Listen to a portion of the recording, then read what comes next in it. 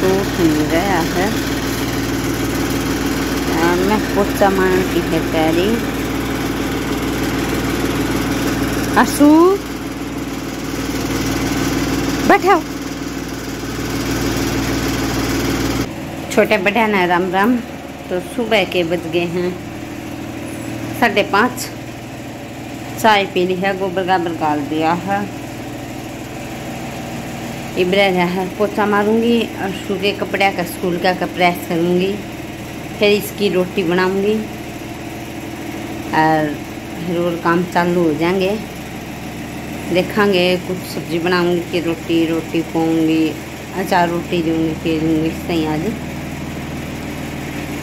पोचा मार लें हम क्योंकि फिर खेत में तार पाछ पोचा लागता को ना और वारी आवा, हैं, दस साढ़े दस बजे, हैं। तो फिर आके पोचा तक कुंज मार के चली जानी, फिर आया पास एक बार झाड़ू भी काट दिया हाँ तो भी साफ़ दिखेगा।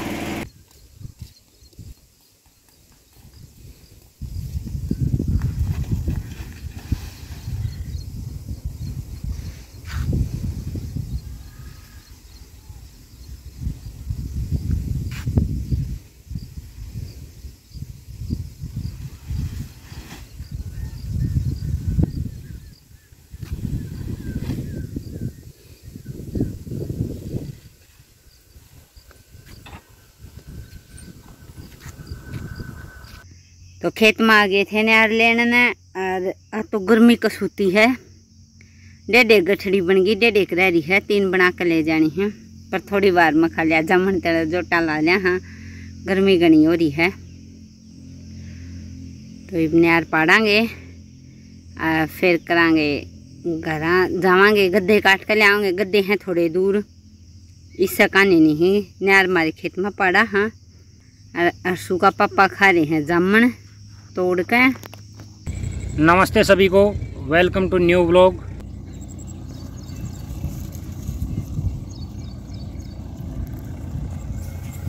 धान की बिजाई शुरू हो गई है।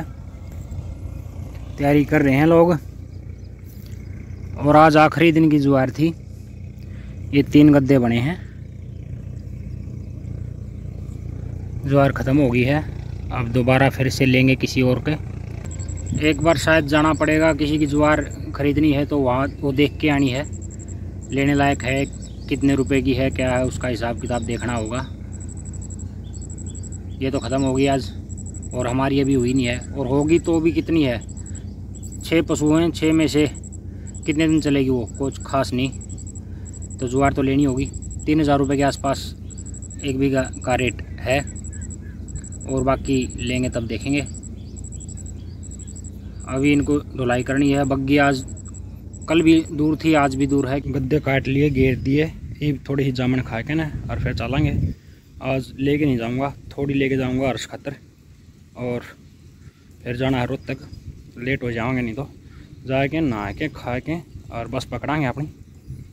और जामन पाँच सात दिन का झटका रह गया बस। नीचे गिर जावा सारी। लाग बतेरी रही है। और इनका खेत में चोकर दे पेट है जमन गया कुआ इसका तो ले लिया, कुआ उसका तो ले लिया, कुआ इनका तो ले लिया, और भी है न्यून न्यून भी है चोकर दे। चल रहे हैं। ये ले ली है जमन।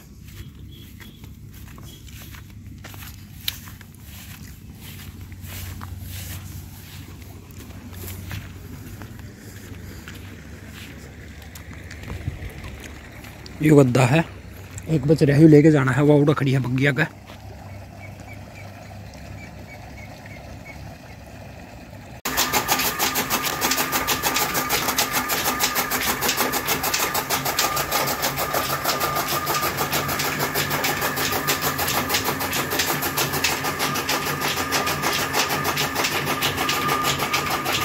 कटड़ा दिया है बेच। आज आज का मेहमान है। दस महीना का हो गया साढ़े सात हज़ार रुपया बेच दिया। अभी खाना खाया जाएगा लाल मिर्ची चटनी है। और लाल मिर्च की चटनी दो तीन तरीके से बनाती है रीता और कमेंट भी थी कि शेयर करना कैसे बनाते हो। हमने लाल मिर्च की चटनी की सब्ज़ी वो रेसिपी शेयर की नहीं आज तक। और 306 की रो, रोटी है इनमें काले गेहूँ की मिलावट है एक आध एक आध तो कलर थोड़ा हल्का दूसरा आता है। सही सफ़ेद नहीं आता। और लस्सी और दही के साथ खाना खाएँगे अब। और बारह बज गए हैं। किस चीज़ की चटनी है? सवा बारह हो गए हैं। किस चीज़ की चटनी है? लाल मिर्चा की। और क्या की है? आलू की चटनी है या? आलू की है? हाँ। अच्छा। आलू की चटनी मैंने नहीं समझ में आई। किस चीज़ की है? फिर जाना है मैम। हाँ एक जोड़ी चप्पल लेकर जानी है हाँ। और वो लेकर और घी पोस्ट करके आना है। और घी लेकर आना है। चप्पल ज़रूर लेकर आना। ये पहले खाना खा लो वहाँ। किस चीज़ की? आलू की बताइए। आलू की है चटनी। खेत से वापसी होगी और खाना खा के अंकल जी के साथ एक बार दिल्ली का काम था और आज सूत बैठ गया। ये दिल्ली जा रहे हैं तो मैं भी चल रहा हूँ साथ में। आए कर दिए अंकल जी। आए लो। हाथ हला दे चल रहे हैं।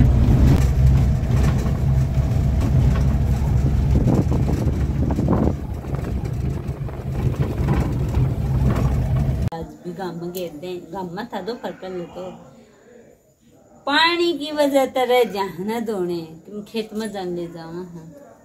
तो पिसना कर लिया हाँ।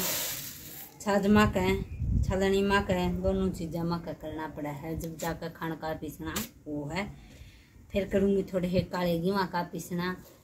तो राम बरस रहे हैं, अब गेहूँ खाने स्टार्ट कर देंगे काले गेहूँ। और घर के कई दिन हो गए, पिसना कर दे, खा कर देख लें कैसे खाएँ, वो हाँ काले गेहूँ। तो आज शुरुआत करेंगे। पहला थोड़ा हा, तीन से छः का पीसना करूँगी। और धो जाए तो राम नहीं खुलता इस कारण धो नहीं रहे मेरे। तो ये पीसना में टाइम बहुत लग जाए दोनों में हुआ थोड़ा टाइम लग गया है। और पीसना में बड़ा टाइम लग गया है।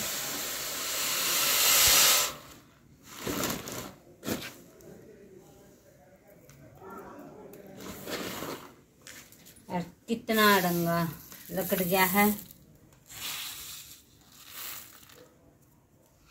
माता